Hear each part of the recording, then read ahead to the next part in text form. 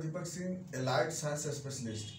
आज हम एक टॉपिक डील कर रहे हैं जेनेटिक टॉपिक से है, जिसको बोलते हैं पारा हीमोफीलिया पारा हीमोफीलिया मतलब हीमोफीलिया के जैसा डिज़ीज़ हीमोफीलिया के जैसा सिम्टम इस यह हीमोफीलिया तो नहीं है, लेकिन हीमोफीलिया में जैसे ब्लीडिंग होती है, जिस तरह से ज्वाइंट प्रॉब्लम होती है सेम उसी तरह से इसमें भी होता है, जिसको हम लोग पारा हीमोफीलिया बोलते हैं। हीमोफीलिया हम लोग देखे हुए थे कि हीमोफीलिया एक एक्स लिंक डिज़ीज़ है, जिसमें फीमेल कैरियर होती है और मेल सफ़र होता है। फीमेल में हीमोफीलिया नहीं होता है, लेकिन हीमोफीलिया का वो कैरियर होती है। उसमें जीन होती रिसेसिव फॉर्म में होता है। लेकिन जो मेल होता है, उसमें जीन डोमिनेंट फॉर्म में आ जाता है। इसलिए वो मेल उसमें सफ़र होता है। हीमोफीलिया में बताया था आपको कि हीमोफीलिया जो कि ब्लीडिंग डिजॉर्डर्स का केस है ये हीमोफीलिया तीन तरह का होता था। हम लोग पढ़े थे हम लोग, haemophilia haemophilia A haemophilia A जो कि 80 परसेंट होता है, जो आठवां नंबर क्लोटिंग फैक्टर के अबसेंट होने से होता है। दूसरा होता है हीमोफीलिया बी हीमोफीलिया बी जो कि ये 15 परसेंट होता है और ये क्लोटिंग फैक्टर नंबर नौवा के अबसेंट होने से होता है। तीसरा होता है हीमोफीलिया सी हीमोफीलिया सी जो होता है, वो रियल में होता है, पाँच परसेंट होता है, और यह इलेवन नंबर क्लोटिंग फैक्टर के अबसेंट होने से होता है। तो यहाँ जो हम लोग देखे तो हुआ था haemophilia haemophilia A B C यह जो हीमोफीलिया था, जो कि रियल में आठवां नंबर के अबसेंट होने से ए होता था, नौवा नंबर के अबसेंट होने से बी होता था, और ग्यारह नंबर के अबसेंट होने से सी होता है। तो ये तीन तरह का हीमोफीलिया जो होता है वह मरीज़ मिलता है। तो अब ये पारा हीमोफीलिया क्या होता है? तो ये पांचवा नंबर क्लोटिंग फैक्टर के गायब होने से डीज होता है। फिफ्थ नंबर फिफ्थ नंबर जो क्लॉटिंग फैक्टर होता है क्लॉटिंग फैक्टर ये अबसेंट हो जाता है। इसी का डिजॉर्डर है जिसको लेबाइल फैक्टर बोलते हैं। लेकिन वो हीमोफिलिक फैक्टर नहीं है। ये लेबाइल फैक्टर लेकिन सिम्टम उसी के जैसा होता है। इसीलिए हम इसको पाराफिलिया के नाम से बोलते हैं, पाराफिलिया बोलते हैं। देखिए, है क्या इसमें? जैसा कि हमको मालूम है कि कोई भी ब्लड वेसल जब यहाँ इंजोर्ड होता है तो ब्लड वेसल जब भी इंजोर्ड होता है तो क्या होता है? कि इंजुरी के बाद वहाँ पर क्या होती है कि ब्लीडिंग स्टार्ट हो जाती है। तो कब जब भी ब्लीडिंग स्टार्ट होता है तो कुछ देर के बाद क्या होता है कि इंडोथेलियल सेल के वजह से इंडोथेलियल सेल के इंजुरी से कुछ भेसो कंस्ट्रिक्टर सब्सटेंस बनते हैं जो कि ब्लड वेसल्स को क्या कर देता है वो कंस्ट्रिक्ट कर देता है। तो यहाँ पर ब्लड वेसल्स क्या होता है? कंस्ट्रिक्ट हो जाती है। अब ब्लड वेसल जब कंस्ट्रिक्ट होती है तो यहाँ से ब्लीडिंग क्या हो जाएगी? स्टॉप हो जाती है। यहाँ से ब्लीडिंग फिर बंद हो जाती है। तो पहला क्या हुआ? ब्लड वेसल इंजोर्ड हुआ। इंजोर्ड होने से भेसो कंस्ट्रिक्शन हुआ। भेसो कंस्ट्रिक्शन से blood vessel blood vessels constrict हो जाएगी। ब्लीडिंग बंद हो गई। और इस कंडीशन को बोलते हैं ब्लीडिंग टाइम बोलते हैं। और एक से तीन मिनट होती है ब्लीडिंग टाइम बोलते हैं। एक से तीन मिनट ब्लीडिंग टाइम बोलते हैं उसको। लेकिन कुछ देर के बाद यहाँ पर क्या होती है कि इंटेंसिव फैक्टर और एक्सटेंसिव फैक्टर दोनों स्टूमुलेट कर जाता है। तो एक इंटेंसिव फैक्टर जो स्टूमुलेट होता है, उसमें 12 नंबर क्लोटिंग फैक्टर जो होता है, वो एक्टिवेट होकर के और 12 का ये बनता है। 12 नंबर जो एक्टिवेट होता है, वो 11 को एक्टिवेट करेगा। तो 11 का ए बन जाएगा यहाँ पर। उसी तरह से क्या होता है कि यह एक्टिवेट करेगा नौ नंबर को। यह एक्टिवेट होकर नौ नंबर का ए बन जाता है यहाँ पर।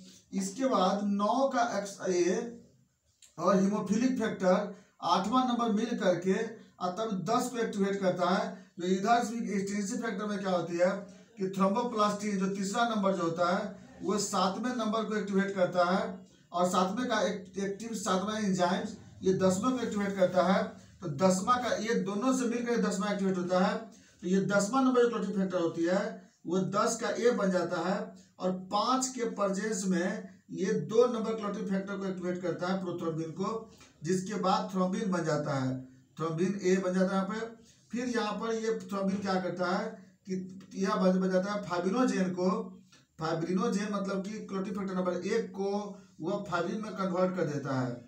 फिर ये तेरह नंबर क्लोटिंग फैक्टर जो होती है, इसको पैक करके क्लोट बना देती है।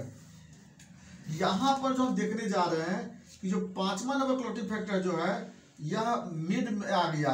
कि यह जो यहाँ से कॉमन यहाँ से जो आता है अलग पाथवे एक्सटेंसिव और इंटेंसिव पाथवे के बाद जो कॉमन पाथवे जो होती है, उसके बीच में होता है पांचवा number clotting factor common path में मतलब कि जो प्रोथ्रोम्बिन से थ्रोम्बिन बनना फाइब्रिनोजन से फाइब्रिन बनना यानी कि एक बार रिपीट कर देते हैं, यहाँ से क्या होती है कि बारह नंबर क्लॉटिंग फैक्टर जो होती है, वो बारह का बारह का एक्टिव है मतलब फिर ग्यारह को एक्टिवेट करेगा, फिर नौ को एक्टिवेट करेगा एक्टिव नौ का ए और आठ के परजेंस में क्या करेगा, दस को एक्टिवेट करेगा इधर से थ्रोम्बोप्लास्टिन जो होती है वो सात को एक्टिवेट करेगा, सात का ए बन जाएगा, फिर उसके बाद क्या हो जाएगा यहाँ पे? आगे चल करके जो दस का एक्टिव है और पाँच दोनों मिल करके प्रोथ्रोम्बिन को एक्टिवेट करेगा। प्रोथ्रोम्बिन से थ्रोम्बिन बनेगा, थ्रोम्बिन क्या करेगा? फाइब्रिन को एक्टिवेट करेगा, फिर फाइब्रिन से फाइब्रिन होता है। इस तरह से क्या होता है कि ये पूरा एक रिएक्शन होता है, जिसके बाद क्लॉटिंग होती है। तो यहाँ से लेकर के जिस समय इंजुरी होता है इंजुरी से लेकर के और यहाँ तक को हम लोग बोलते हैं क्लॉटिंग टाइम जो कि दो से पाँच मिनट तक होता है ये। इतना देर में ये क्लॉटिंग हो जाती है। लेकिन अगर बाई में किसी भी मरीज़ में ये लिवाइल फैक्टर अगर पांचवा नंबर फैक्टर जो बात कर रहे थे हम लोग, अगर फाइव नंबर क्लोटिव फैक्टर नहीं रहेगा, ये रिएक्शन देर से होगी, दस मिनट, बारह मिनट, पंद्रह मिनट, उसी तरह से सेम कंडीशन होगी जिस तरह से हीमोफीलिया में होती थी। तो इसी तरह से इसमें भी रिएक्शन में डेवलप हो जाती है। ये था मेरा इसका क्या? पैथोजेनिसिटी इसी ढंग से क्या होती है कि उसमें रिएक्शन डेवलप होगी। तो क्लोटिंग फैक्टर उसका देर से होगा। क्लोटिंग देर से होगी उसमें। कटने के बाद ब्लीडिंग तो ब्लीडिंग तो बंद हो जाएगी जल्दी। ब्लीडिंग जितना देर में बंद होना है, एक से दो तीन मिनट बंद हो जाएगी, लेकिन क्लॉटिंग जल्दी नहीं होगी। और जानते हैं कि जब तक यहाँ पर सोल्डिंग नहीं होगा सोल्डिंग का मतलब होता है क्लॉट का प्रोवेशन नहीं होगी, तब तक एक रियल में वो मज़बूत नहीं होगा। ब्लीडिंग बंद होने से मज़बूत नहीं होता है। ब्लीडिंग बंद होने से क्या होगी? जिस तरह से पाइप फट जाता है तो आप टेप बाँध देते हो, फिर तो से तक कभी भी लीक कर सकता है। लेकिन एक बार सोल्डिंग होने के बाद क्या होता है, फिर वो लीक नहीं करेगा। तो क्लॉटिंग जो होता है ना, इसको सोल्डिंग करता है। इसीलिए क्या होता है ना कि इस फैक्टर की कमी होने से भी क्या होता है ना, क्लोटिंग देर से होने के वजह से ब्लीडिंग जो होता है, ज़्यादा देर तक हो जाती है। सिम्टम क्या होंगे? सिम्टम इसमें क्या मिलेंगे? गम्स ब्लीडिंग, नोज़ ब्लीडिंग रिस्पायटिस ब्लीडिंग, जिसमें कि हिमोटाइसिस बोलते हैं। हिमेटोमेसिस भी हो सकता है इसमें। उसके बाद मलेना हो सकता है। हिमेटोकेजिया डेवलप कर सकता है हिमाचुरिया हो सकता है, या फिर जेनाइटल ब्लीडिंग हो सकती है। इसके बाद नेक्स्ट देखते हैं हम लोग कभी कभी अगर जो इंजुरी अगर हुआ सपोज़ दैट किसी बॉडी के सरफेस पे तो वो जल्द से जल्दी वहाँ पे ब्लीडिंग स्टॉप नहीं होगी, न क्लोटिंग जल्दी होगी वहाँ पे। साइन में क्या देखेंगे, जो स्किन होगी वहाँ पर परप्यूरल हेमरेज परप्यूरल जैसा वहाँ पर अपेयरेंस होगी, फिर उसका पिटैची मिलेगा उसमें वहाँ पर स्किन पर। और ब्लड प्रेशर वगैरह इसमें क्या होता है कि डिक्रीज मिलेगा इसमें। कॉम्प्लिकेशन सीवियर हेमरेज हो सकता है, या ब्लड ट्रांसफ्यूजन अगर कराते हैं मरीज़ को तो ट्रांसफ्यूजन रिएक्शन हो सकता है ब्रेन हेमरेज हो सकता है अबडोमिनल हेमरेज हो सकता है haemorrhagic anaemia iron deficiency anaemia ये सब इस पेशेंट को देखने को मिलता है। नेक्स्ट आते हैं फिर हम लोग इन्वेस्टिगेशन इन्वेस्टिगेशन जब कराएँगे तो क्लॉटिंग फैक्टर नंबर फाइव का जब देखेंगे जाँच करा करके तो नहीं मिलेगा। सेंट मिलेगा उसमें। नंबर टू ब्लीडिंग टाइम कराएँगे तो नॉर्मल मिलेगा। क्लॉटिंग टाइम कराएँगे तो बढ़ा हुआ मिलेगा इंक्रीज मिलेगा, यानी कि दस मिनट से ऊपर भी मिल जाता है लगभग इसमें। फिर उसके बाद नेक्स्ट सीरम कैल्शियम कराएँगे नॉर्मल मिलेगा। सीरम कैल्शियम नॉर्मल मिलेगा। हिमोफिलिक फैक्टर कराएँगे प्रजेंट मिलेगा। हिमोफिलिक फैक्टर प्रजेंट मिलेगा। सीरम प्रोथ्रोम्बिन कराएँगे नॉर्मल मिलेगा। फाइब्रिनोजन का टेस्ट कराएँगे नॉर्मल मिलेगा। नहीं मिलेगा तो क्या? लेबाइल फैक्टर नहीं मिलेगी। ये सब इसमें जो होता है, जाँच करा के हम लोग देख लेते हैं। मैनेजमेंट में क्या करते हैं? Blood transfusion. हमको क्योंकि ये जेनेटिक डिज़ीज़ है, ये ठीक नहीं होगी।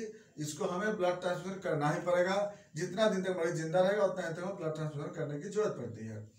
ये ये इस बीमारी का जो खोज किए थे, वह एक ऑरेंज साइंटिस्ट थे वही ने खोज किए थे इनका।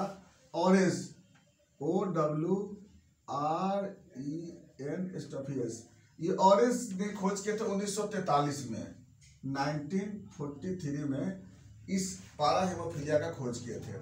जो कि हेमोफीलिया का खोज हो चुका था 1928 में, सॉरी 1828 में। बाद में हेमोफीलिया बी और सी का खोज हुआ था उन्नीस में उन्नीस में।